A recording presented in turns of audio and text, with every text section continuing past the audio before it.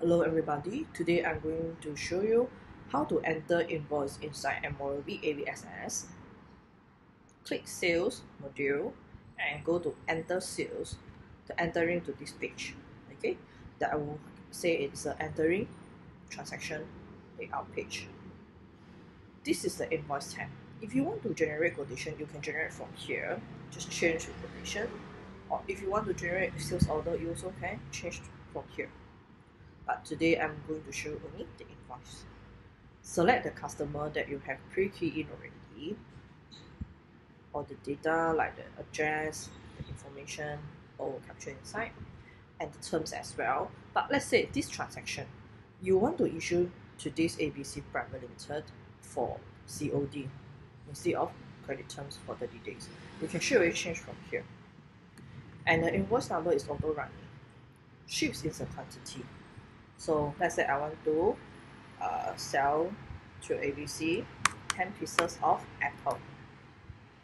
Straight away I can select apple. I, I can see I got 100 pieces balance inside my warehouse or my office. Okay.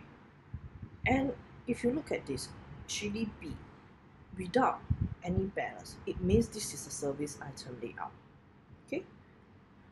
Our layout, we have five layout we have service item, we have we have service item, professional, time billing, miscellaneous. But most common used by clients will be service and item. So even though you're under item layout, right, you still get create as a service item. For those people who provide service but still need the quantity, for example, they charge by labor cost. They want to charge maybe 10 labor days uh, for how much for per man day. You can use this as well and one dollar, which is I prefix already. I also can change after the transaction. Maybe today I want to sell for two dollars, and the GST automatically calculate for me. And straight away I can print out as a invoice. Just click print, preview. Uh, they will ask you, do you want to record first? Yes. So you can choose your invoice format, or you can use the system by default format. And you can enlarge it take a look. Is that what you want? Everything correct? If it yes, sure way, you can print out to the customer already. Thank you. That's all about how to enter